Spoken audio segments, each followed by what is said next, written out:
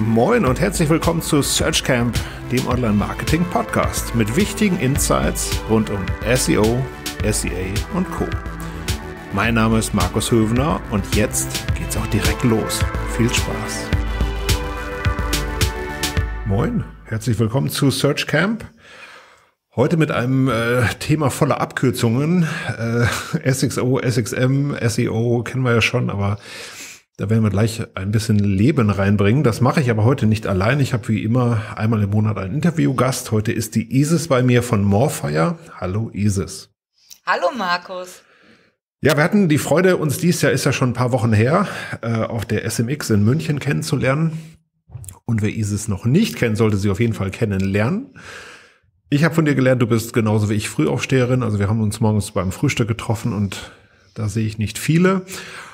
Und ansonsten, wie gesagt, du bist bei Morfire, jetzt seit siebeneinhalb Jahren habe ich gesehen, Principal SEO mit Schwerpunkt Content, Strategie und SXO. Gibt es da noch mehr zuzusagen oder haben wir es getroffen? Nee, ich glaube fast, äh, du hast es getroffen und ähm, das mit dem Frühaufsteher süß, dass du es auch nochmal gesagt hast, weil wir waren natürlich schon um 10 vor 5 beim Frühstück. Das wusste nur, das wusste nur nicht das Hotel. oh ja, ist immer schwierig, ja, weil ich glaube, ich habe schon gelernt, dass die meisten Leute eher äh, schon relative Spätaufsteher sind. Und vor allem, äh, ist auch so Side Note, ich, ich merke das immer, wenn, wenn Leute jetzt gerade Kinder bekommen haben, dann sind die immer total geil auf die Konferenzen, weil die mal zwei Nächte durchschlafen können. Ja. Aber das nur, äh, ja, Side Note. Ähm, das Thema SXO steht heute auf dem Plan und ähm, erstmal natürlich sehr gewagt, so, so einen Vortragstitel zu haben wie SEO gleich SXM gleich SXO und das auf der SMX.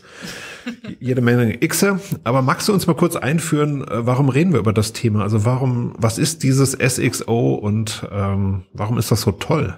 Ja, ich kann ja noch auf den Titel einmal referenzieren, weil ich war ja bei meinem Vortrag auch nicht alleine, sondern mhm. ähm, zusammen mit dem tollen Oliver Kuttroff. Und der war die Abkürzung SXM, nämlich Search Experience Management. Da kann ich heute natürlich leider ganz wenig nur zu sagen oder im Endeffekt eigentlich im besten Fall gar nichts. Und ähm, ich war dann sozusagen zuständig für das Thema SXO, also Search Experience Optimization. Und natürlich, weil es auf der SMX war, kam natürlich dann dieser wunderbare Titel ähm, zustande. Ähm, SXO generell ähm, habe ich mir relativ früh so ein bisschen, ja, blöde Formulierung mal so ein bisschen als Steckenpferd ähm, genommen, weil ich gemerkt habe, dass wir SEOs gerne Traffic bringen und manchmal dann aufhören zu denken.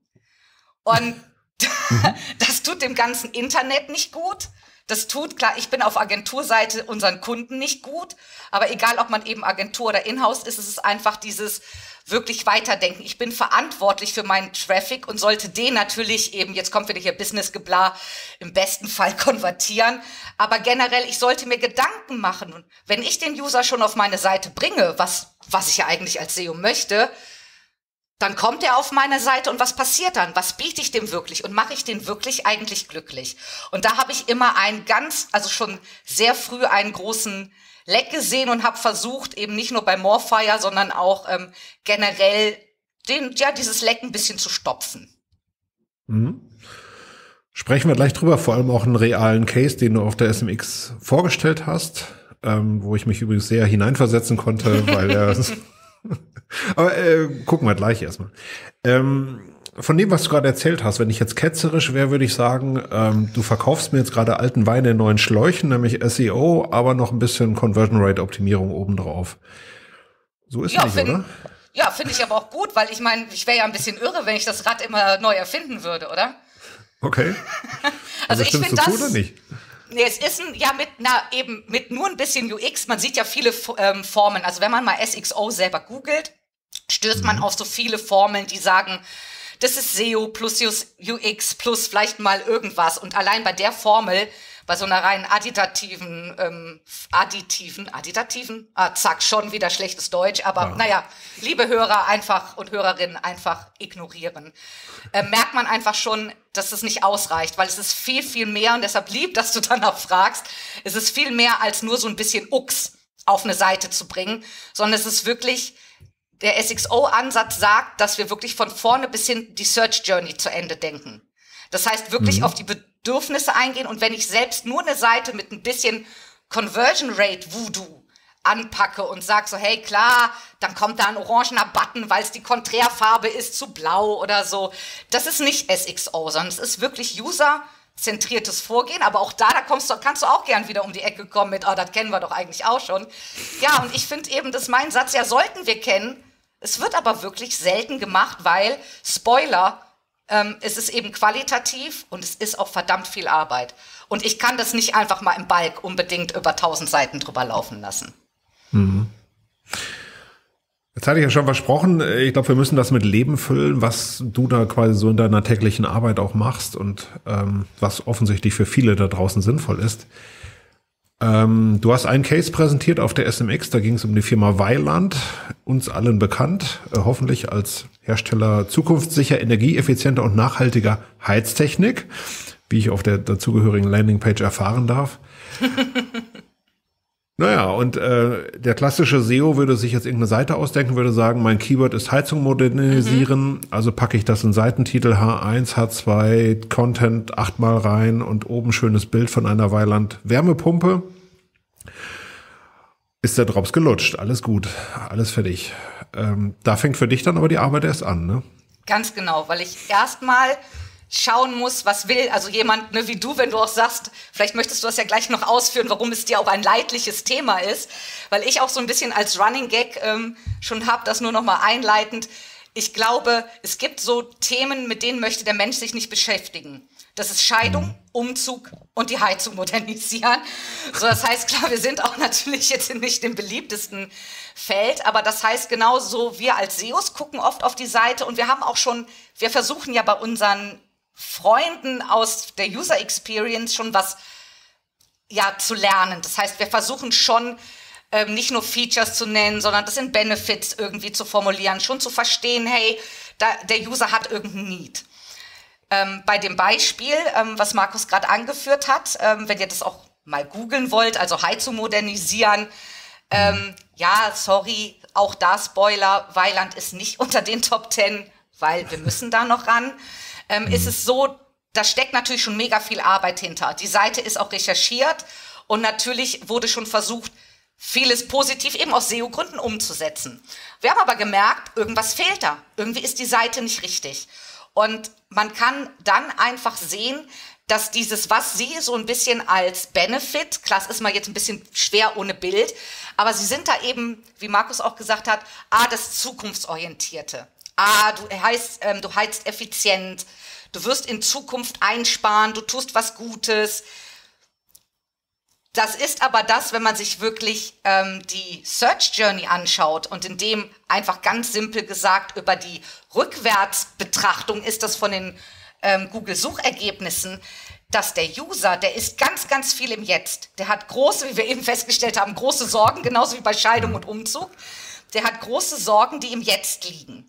Das heißt, um das vielleicht so eben so kurz wie möglich zu fassen, die Seite, die gebaut wurde, hat Hand und Fuß, ist zukunftsorientiert, aber holt einfach an der Stelle den User nicht ab, weil der in großen Sorgen um seine Kosten jetzt ist und um das, was alles auf ihn zukommt. Und wir wissen alle so ein bisschen die menschlichen Heuristiken. Ähm, der Mensch kann auch manchmal recht schwer mit so zukünftigen Dingen. Das heißt, äh, sich vorzustellen, hey, dann wird alles gut, äh, damit bekomme ich den nicht unbedingt. Heißt das, ähm, gerade so, wenn du so, so Wörter wie Sorgen und sowas hast, ähm, dass eine Blickweise oder ein, ein Aspekt die Gefühle des Menschen sind, der da gerade vor dem Rechner sitzt? Die Gefühle sind auf jeden Fall, deshalb ist es immer auch dieses, oh, da kriege ich eigentlich auch manchmal so einen Affen oder rauf mir die Haare so, ach ja, Suchintention und Co. Ja, ähm, ja eine Intention habe ich, aber ich habe ja noch viel, viel mehr. Eben weil ich mhm. einfach so ein, ich bin halt, ich hoffe, man darf das Wort in deinem Podcast äh, oder überhaupt sagen, man ist halt einfach ein bisschen auch ein blöder Mensch. So, und wir können uns da überhaupt nicht von frei machen. Klar habe ich eine Intention, aber dahinter steht einfach auch ein Bedürfnis, was oft überhaupt nicht emotional, es ist nicht emotionsfrei, sondern es ist oft emotional getrieben und gerade bei solchen, in dem Fall klar, das Beispiel ist natürlich informationell getrieben und natürlich dann auch verbunden mit ganz, ganz vielen Sorgen und Bedenken. Und die muss ich natürlich auch auffangen. Das ist natürlich jetzt in so einem Beispiel auch viel einfacher zu zeigen, aber das gilt auch für viele andere Suchphrasen wie Suchintentionen. Wenn ich da einmal mir ein bisschen Mühe gebe, dahinter zu blicken. Wir haben ja oft, wenn man auch schon ähm, sich so diese ganzen Funnel-Darstellungen, die haben wir bei Morfire auch im Einsatz, dann sieht man ja mhm. immer, ja, der sucht was, um sein Problem zu lösen. Ja, das, das stimmt auch. Nur hinter dem Problem steckt noch viel, viel mehr. Das heißt, auch da, man muss einfach eben, ich muss das Rad nicht neu erfinden oder hier mit dem Wein, ähm, sondern ich muss in Ticken mir einfach Mühe geben, das, was ich eigentlich schon mache, mal richtig zu machen. Und leider mich auch mit diesem ominösen Monstrum Mensch zu befassen. Und das natürlich mhm. vor allem, gerade wenn mein Business davon abhängt. Jetzt hattest du eben schon das Wort Need oder User Need, finde ich auch eine schöne Sache. Äh, wie finde ich das denn dann raus? Also ich habe diese geile Landingpage gemacht mit der Wärmepumpe oben und äh, denk so, eigentlich ist sie ganz cool, aber wie finde ich jetzt raus, irgendwie, was diesen Mensch wirklich, was der will und was den so hinten zurückhält vielleicht? Da kann man einfach oder es gibt, also was man natürlich noch mehr machen könnte, wären natürlich auch Nutzerbefragungen, Kundenzufriedenheitsbefragungen, also alles mhm. sowieso auch Daten. Da habe ich jetzt zum Beispiel bei der SMX nicht drauf gesprochen. Das heißt, ich habe eigentlich ein Sammelsurium oder ein Portfolio, wo ich auch Daten herbekommen kann. Aber eigentlich ganz simpel. Wir können uns die kleine Datenkrake Google zunutze machen, weil Google hat natürlich so eine Datenbasis und Google weiß genau, warum Seite 1 aussieht, wie Seite 1 aussieht. Und deshalb ist es eigentlich, wie erkenne ich diesen User Need, ist wirklich der ganz einfache Satz. Ich gucke mir die Seite 1 an, aber mit der Erweiterung, und das finde ich ist eigentlich auch so schwammig, wie sie ist, die Formulierung, ich gucke sie mir richtig an. Mhm. Ich verstehe wirklich, okay, wenn da steht, Schritt für Schritt, Kosten. Was bedeutet das? Dann schreibe ich das nicht einfach nur in meine Metadaten rein, sondern ich muss verstehen, warum das denn da gerade wichtig ist, warum sind diese Seiten auf Seite 1 und warum sehen Titel auch so aus und warum, genau, also Google sagt uns eigentlich, ja, oder gibt uns den Wink in die richtige Richtung, wenn wir uns die Mühe machen, Seite 1 uns anzugucken. Das ist aber natürlich im Balk, ne, nochmal die Formulierung, nicht immer so einfach. Dadurch ist es eben auch ein Thema, was gerne mal nicht angegangen wird, weil es einfach auch ein bisschen Arbeit macht. Aber ich meine, SEO auch generell, auch SEO und Balk macht natürlich viel Arbeit. Also da wollte ich jetzt hier keinem SEO äh, zu nahe treten, aber es ist halt einfach noch mal eine andere, qualitativere Herangehensweise. Mhm. Ich habe dann auch von dir das Wort User Story gehört, ähm, die dann aus dem User Need folgt quasi. Was ist das dann? Dieser User Need, damit er eben so gut es geht, nicht schwammig bleibt. Und wir hatten ja eben schon dieses, die ISIS klaut ja anscheinend ganz gerne, weil ne, gut geklaut ist besser als schlecht selbst gemacht. Und ähm, ich in meinem Leben habe für die IT schon viele Tickets geschrieben. Dieses Wort User. Story kennen wir vor allem aus der IT. Das heißt, ich formuliere neben Akzeptanzkriterien auch eine User Story. Und was ich in meinem Leben und auch dank eines äh, ähm, sehr lieben Ex-Arbeitskollegen von mir gelernt habe, der mich immer gezwungen hat, intern die krassesten User-Stories zu schreiben, weil er hat wirklich gesagt, das ist so wichtig. Zum Beispiel jetzt nochmal wegen der ähm, IT. Das heißt, dann sage ich, ich möchte das und das Feature und das sind meine Akzeptanzkriterien, bis das Feature fertig ist. Diese User-Story ist aber so wichtig, dem dem, der das Ticket bearbeitet, klar zu machen, was der Mehrwert ist, warum er eigentlich dieses Ticket bearbeitet. Und genau diese User Story zu formulieren, ohne Scheiß, oh, sorry, Scheiß, ich habe eben schon blöd gesagt, ohne Scheiß, macht unheimlich viel Arbeit. Und was mhm. ich will ist, aber diese User Story ist essentiell. Das heißt, ich habe dieses Wort User Story von der IT geklaut, um diesen User Need in einer User Story, die man im besten Fall, ganz wichtig, sogar in der Ich-Form formuliert, also niederzuschreiben, damit jedem nachher dieser User Need im besten Fall in einem Satz klar ist und den kann ich dann, wenn ich den ähm, die User Story ähm, formuliert habe, wie ähm, ich habe Sorge um, ich brauche Hilfe, weil ich möchte das und das. Wenn ich das formuliert habe, kann ich die wie eine Persona Set Card auf meine oder neben meine Zielseite legen und habe dann wirklich einen ganz, ganz tollen Gradmesser. Ich kann den auch an die Texter geben. Ich kann den mhm. an die UX-Kollegen weitergeben, die vielleicht sich nicht die Search Journey angeguckt haben. Das heißt, diese User Story ist wirklich wie eine Persona Set Card eine ganz, ganz tolle Hilfe zu sehen, alles, was ich auf der Seite mache, ob es Text ist, Module sind, zahlen die auf diese User Story ein. Und deshalb habe ich das einfach mal fein bei der IT geklaut, weil ich es als Mehrwert für SXO verstanden habe. Dann zitiere ich mal aus deiner Präsentation, nämlich, äh, wie heißt diese User Story für diese Weiland-Seite? Zitat, ich sehe die Informationsbeschaffung sowie den Kostenfaktor als große Herausforderung und wünsche mir vertrauensvolle Unterstützung, um die richtige Entscheidung zu treffen und ein beruhigendes Gefühl dabei zu haben. Das hast du geschrieben, ne? Ja. Ja, also. und findest immer noch gut. Finde ich weiterhin noch gut, vor allem, weil ich es auch immer mal wieder gegenprüfe. Also immer mal mhm. wieder auch mal update. Klar, der Heizungsmarkt, ähm, wer hoffentlich jetzt nicht seine Heizung erneuern musste, äh, hat es vielleicht nicht so mitbekommen, aber der Heizungsmarkt war jetzt sehr, ähm, ja, äh, in, äh, sagen wir mal, außer Rand und Band. Und deshalb habe ich natürlich auch diese User Story immer mal wieder hinterfragt, auch alleine wegen den äh, neuen Gesetzgebungen ähm, und mhm. Co. Und äh, nee, ich bin weiterhin damit sehr zufrieden, auch wenn natürlich ähm, nochmal das ähm, Thema Förderung neu da reinkam, aber das gehört weiterhin zur Informationsbeschaffung. Was diese User Story eigentlich recht knackig nämlich klar macht, ist, es gibt ein ganz, ganz starkes Informationsbedürfnis. Klar kann man sagen, ja, ist ja auch eine informationelle Anfrage, äh, aber die Angst, die Sorge, hey, ich bin ein Laie, ich muss mir Informationen beschaffen. Und mhm. ich habe jetzt Angst um Kosten, ist wichtig. Und die Lösung dann, das merkt man dahinter, das ist auch dieses Verstehen vom Mensch. Ich brauche jemand, der mich führt. Das ist die Konsequenz daraus. Und dann ist es mit dem, aha, ich muss also Informationen geben, auch Sorgen nehmen um Kosten, ob ich das jetzt kann, ja oder nein, ist was anderes. Aber dann ist so ein bisschen das Fazit, ähm, positionier dich so, dass du, dass der dem User klar ist, du wirst an die Hand genommen. Du bist nicht allein.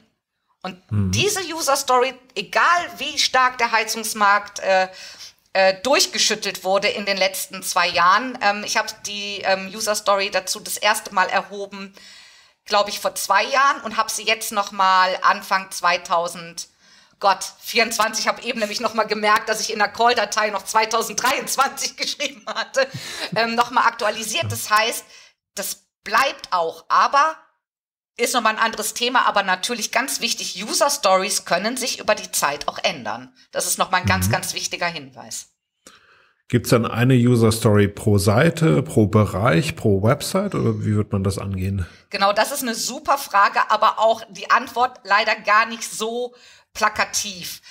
Ähm, es ist so, dass nämlich hoffentlich ähm, SEOs schon verstanden haben, dass ein Thema gibt Keywords vor. Ne, durch die Keywords mhm. ne, sind oder Keywords können wir ein bisschen synonym machen, wir jetzt heute einfach ein bisschen dreckig auch, äh, gibt die Suchphrasen vor. Also ich weiß mein Thema. Und es ist so, was ich ähm, jetzt in meiner Beschäftigung mit SXO ganz klar festgestellt habe, ist, dass wenn ich mein Thema vorher abgrenze, wirklich weiß, was mein Thema ist, dann habe ich wirklich eine User Story und weiß auch. Und das ist es nämlich, wenn die User Story zu einem fast ähnlichen Thema nicht mehr passt, ist es auch übrigens ein anderes Thema. Das heißt, mhm. ich brauche auch zwei Zielseiten. Da sind wir zwar wieder ein bisschen, da habe ich auch selbst gemerkt, als ich das festgestellt habe, oh nein, ich will doch gar nicht back zu Oldschool SEO. Ein SEO geht in die Kneipe, ins Wirtshaus, in die Bar, damit möchte, da möchte ich nicht hin, bloß nicht.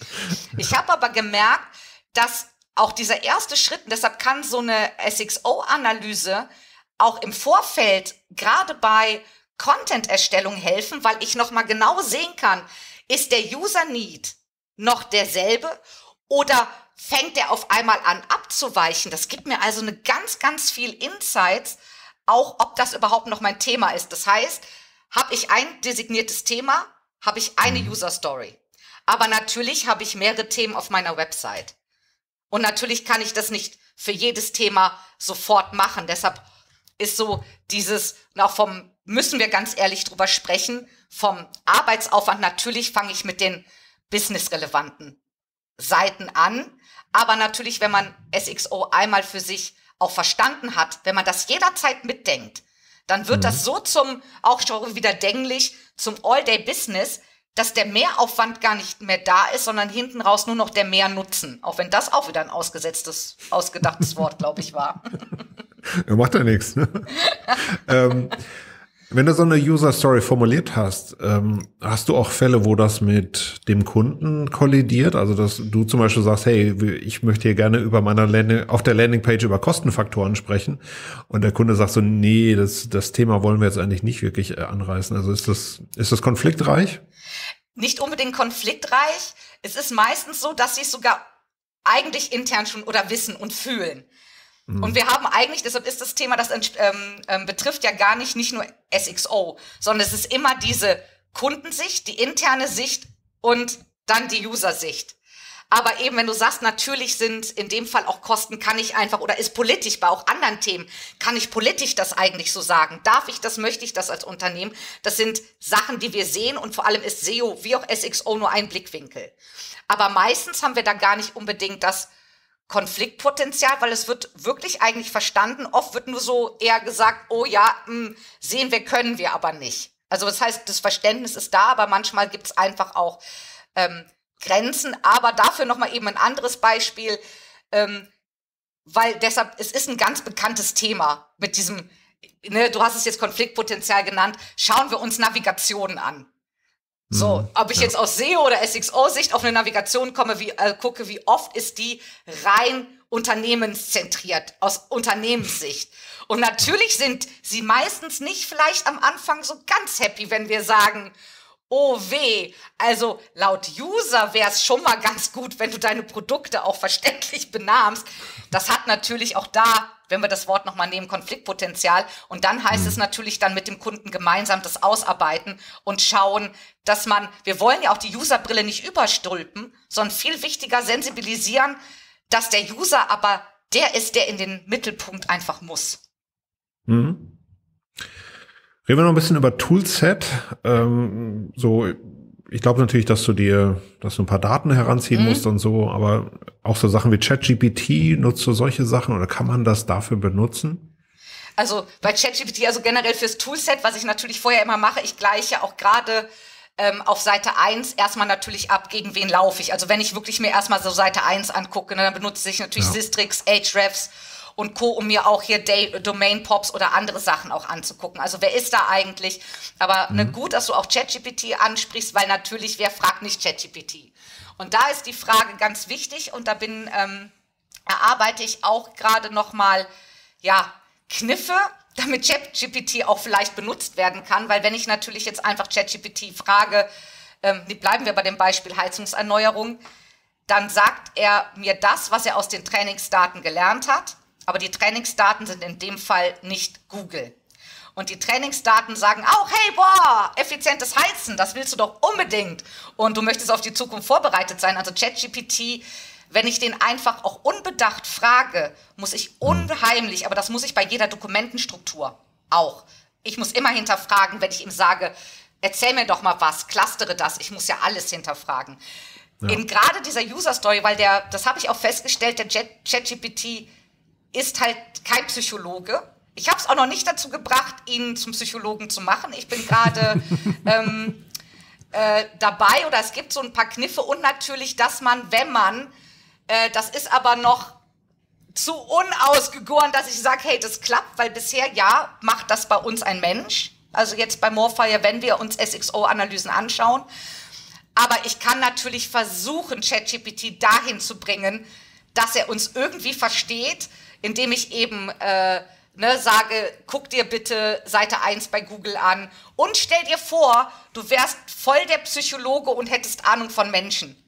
So, in, dann geht's in die Richtung ein bisschen besser, aber eben ChatGPT, gerade so zu fragen, was ist da wichtig bei einer Heizungs, in dem Fall Heizungsmodernisierung, klappt wirklich nicht. Und er bringt dich sogar auf die gefährlich falsche Fährte. Deshalb muss ich derzeit sagen, Obacht und natürlich äh, deshalb ist es sowieso eine, wie prompte ich, welche Datenquellen nutze ich. Aber das ist, glaube ich, nochmal ein anderes ähm, Thema. Aber Vorsicht walten würde ich auf jeden Fall. Und bisher habe ich es noch nicht geschafft, dass ChatGPT mich ersetzt. Aber wenn er es mal tut, okay, ja, Rente, auch fein. Sorry, Morfire. ich bin da mal weg. ähm, sorry, ich hatte gerade meine, meine nächste Frage so aus dem Kopf verloren, ähm, wo wir hier so nett miteinander plaudern. Ähm, wenn du jetzt da so eine Landingpage gemacht hast für das Thema Heizungsmodernisieren und da steckt schon viel Psychologie drin, wäre das nicht auch eine gute Seite, die die anderen Gewerke nutzen können, also die SEAs oder die, die Socials und oder tut ja. ihr das eher nicht? Nee, das ist dieses dieses Aufbrechen, oh Gott, das ist jetzt hast du aber ein Fass aufgemacht, ne? Wusstest du auch so auf die letzten paar Minuten, da hau ich aber noch mal einen raus. Ähm, es ist einfach so, ey, das ist einfach genau wie der Silos aufbrechen. Denke ich an die mhm. anderen, gebe ich meine Insights mit. Da müssen wir selber, wir SEOs, uns äh, genau wie die anderen auf die Finger hauen. Und da ist immer, binde die anderen ein. Gib dein Wissen weiter. Frag aber auch vorher eben auch nochmal die, die Ads-Leute, was wisst ihr denn schon? Äh, benutzt ihr das? Oder natürlich versuche ich dann schon mit denen, die äh, die Seite aus, sagen wir jetzt mal ganz simpel Conversion Rate äh, Gesichtspunkten sich angeguckt haben. Mhm. Aber wir wissen alle, oft manchmal geht das unter. Da mache ich mich manchmal auch nicht frei zu sagen, hey, ich habe mir die Seite unter äh, SXO angeguckt. Hier übrigens bester Seher.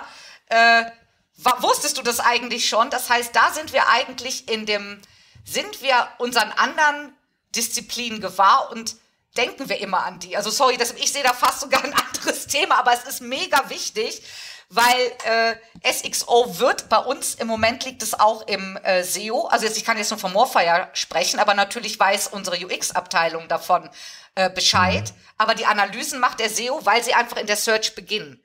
Aber eben diese Informationen über das Ergebnis, die zu teilen, sich dann darüber auch zusammenzusetzen, ist wichtig und wird in idealen Welten sicherlich auch durchweg durchgeführt. Gebe ich ganz ehrlich zu. Heißt aber auch, diese idealen Welten haben wir nicht immer, ne? Nee, und deshalb äh, meine Antwort äh, auf die Frage, Markus, ist ja. okay, cool. Dann vielleicht so die vorletzte Frage. Ähm, es gibt ja dieses bekannte SEO-Mantra. Alles, was für Nutzer gut ist, ist auch für SEO gut und umgekehrt. Also so eine Art äh, Äquivalenz. Mhm. Ähm, glaubst du das oder glaubst du das nicht? Ich finde es eigentlich relativ gut. Also ich finde, wir brauchen auch einfach mal klar, der, ne, der SEO liebt auch Checklisten. Aber es gibt, finde ich, einfach auch ähm, so ein paar grundlegende Wahrheitsklischees. Und wir wissen ja, hinter so einem Klischee steckt oft doch eben so ein bisschen Wahrheit. Deshalb nenne ich es mal Wahrheitsklischees. Mhm. Und ich finde, es sind schon, es gibt so zwei, drei, also jetzt fällt mir das, also ne, ein Klischee ist eben, was für den User gut ist, ist auch für, für äh, Google gut oder ne? Unterschreibe ich ganz genauso wie Google liebt Brands. Und im Endeffekt, mhm. wenn wir die zwei eigentlich benutzen, ist SEO ganz einfach. Macht beides trotzdem Arbeit übrigens. Aber ich ja, finde, ja, ja, ich würde die beiden unterschreiben. Oder Markus, siehst du das anders? Weil ich finde schon dieses klar, ähm, machen wir noch anderen Hiopai-Scheiß, wie strukturierte Daten und Co. Und das wollen wir noch und Page Low, äh, Page Speed und Co. Aber im Endeffekt, auch das tut dem User ja gut. Oder eben, ich bin jetzt total interessiert, ob du das anders siehst, weil ich finde nämlich diese zwei Grundmantras, Brands und mhm. User-zentriert, Häkchen dran, ah, SEO, fertig. Nein, ist es natürlich nicht, wie wir wissen. Nein, ich sehe es im, im Allgemeinen sehe ich da schon diese, dieses Gleichzeichen dazwischen. Es gibt aber immer äh, Fälle, wo es einfach nicht so ist. Also ich zum Beispiel, ähm, für mich könnte eine Seite nur aus, aus Stichpunkten bestehen und ich würde sie, mhm. äh, also ich würde sie lieber so konsumieren. Äh, für SEO wäre das äh, allerdings irgendwie, also es wäre gut in diesem Fall für den Nutzenden, in diesem Fall mich. Ähm, für SEO wäre es natürlich gar nicht gut finde ich, jetzt auf Fließtext zu verzichten. Deswegen glaube ich, so dieses, diese Äquivalenz gibt es nicht immer unbedingt. Aber Oder wenn du zum, ja, also ich wollte jetzt auch gar nicht unterbrechen, ja, nee, von, der, von der Grundidee, ich finde das aber super, aber zum Beispiel, wenn du jetzt diese vielleicht sehr spitze Zielgruppe von so einer Ziel-SEO-Seite wärst und es kommt wirklich raus, der braucht es wirklich, das wäre wieder User Story. Der, mhm. ne, ich Form, aber ich mach's mal in der Markus-Form. Der Markus der hasst langen Scheiß Fließtext. Der Markus möchte Bullet Points und am besten hinten raus auch nochmal kompakt eine Antwort. Wenn du in dem Fall den, das Gros der Zielgruppe wärst, dann wäre auch übrigens das ja genau die richtige userfreundliche Antwort.